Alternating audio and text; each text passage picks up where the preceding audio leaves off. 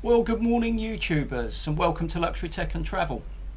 I've wanted to make this video for a while because I'm becoming increasingly frustrated at the amount of new drones that are being released on Kickstarter, on crowdfunding sites such as Indiegogo. And as someone that has invested in the Lily drone that failed and I still haven't received my money back, I do tend to have a look around and keep an eye on new drones that are being released to the market. And they all seem to have a very common theme. So let's take a look what that is.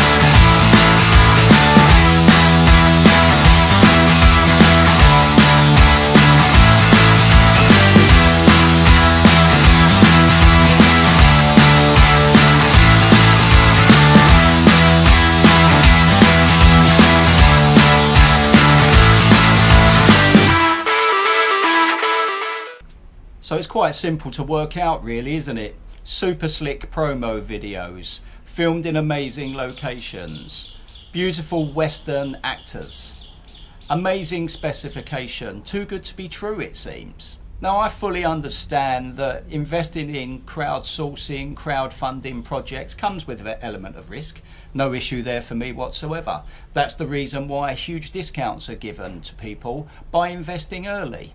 But I think the drone industry is starting to get out of control. And what I want to do today is just highlight a couple of drones that have been recently released that I have my concerns about, and one of which I have actually invested in.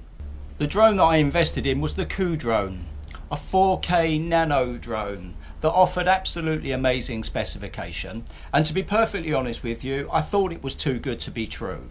However, a lot of people, like myself, have invested. It's only $99, so where's the risk with $99? But the crazy thing is, as of April, this project had 10,700 backers and over $1.2 million raised, which is an insane amount of money 1,600% of its target. Now, the frustrating thing about this drone is that basically there's been fake advertising they're not using their own camera. The pictures that they show aren't their own, aren't coming from the drone itself. They actually said that it's not actually the drone, the drone that took the pictures, but it was the camera that's going to go on the drone that took the pictures. They've said that they've produced 2,000 units. That was back in May, but they haven't been able to test them because there's been so much rain in China. Now, come on. You know, what do you take us for? Now, we all understand that delays come around, but the most recent one, and I think this is a classic, anybody that's purchased white, we're really sorry, but we can't actually match the body and the top colour. So the two whites are slightly off, so we don't want to do that. You know, we take our production very seriously, so would you consider now taking black? Frustrating thing about this drone is that people are complaining naturally, where's the drone? We should have received it in July. You said that 2,000 units were produced. And what they now say, in a very generic response, which is really, really annoying, is that your order's now being processed. Please bear with us. And no, you can't have a refund which I kind of understand with crowdfunding. You know, you don't always get a refund, but it's the transparency from these companies. First, you have all the glam advertising, all the Western actors, when it's clearly built by a Chinese company. And this is the frustration with all of these drones. Now, I'm not saying the Kudrone won't be released. They have said now that by the 23rd of August, they'll start shipping as long as you're happy to take the black. But the thing is now, when this drone actually arrives, will it have anywhere near the specification that they promised? Now, if you ask anybody in the drone industry at the specifications of this drone, they'll all say that it cannot be done for the price point that they're selling at. But I have my real concerns over the Kudrone. I'm expecting mine now by the end of August, and I'll certainly update everybody as and when or if the drone arrives. And another drone that's come to the market on Indiegogo just 19 days ago is the Gobe drone. $399 from $699.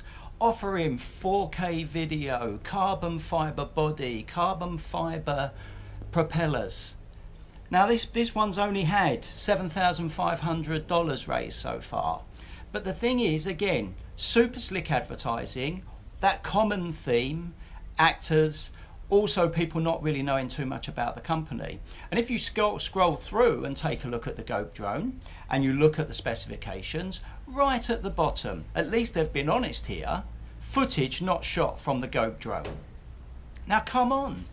They're putting together and saying that they're ready to produce and start marketing the drone and selling the drone. And when questioned, what they said is they're ready for production, i.e., we have all the parts in our warehouse.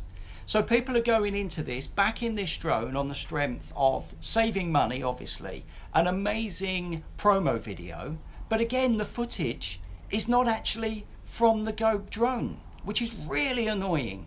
The same as the Lily drone, I don't know if you remember, but the Lily drone got themselves in so much trouble because they was using a GoPro camera for their promotional footage. So that's my rant over. I'd love to know your thoughts and feelings on this.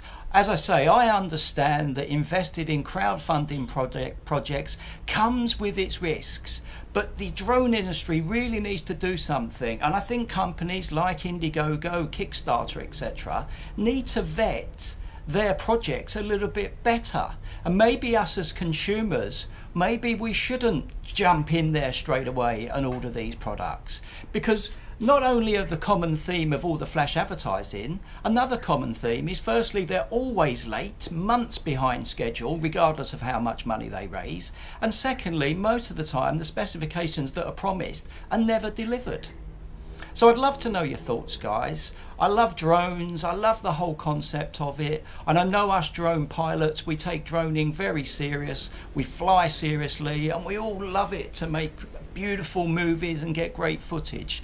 But I'd love your thoughts on this, on what potentially could be done, and whether you've had any experience of drones that have failed. Really appreciate you watching. If you've enjoyed the video, there's lots more videos like this coming on this channel. This channel is all about amazing hotels, luxury travel destination, the best travel advice, and super cool technology. So if it's the sort of thing that interests you, please consider subscribing to the channel. Subscribers to this channel really mean a lot to me.